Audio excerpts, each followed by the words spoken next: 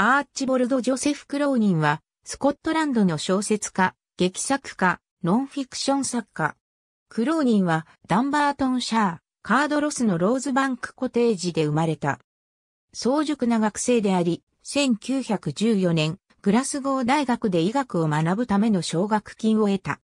1916年から1917年にかけて、第一次世界大戦のイギリス海軍下界として働くため休学し、1919年に主席で大学を卒業。その後、南部ウェールズの鉱山庁トレデガーで開業する。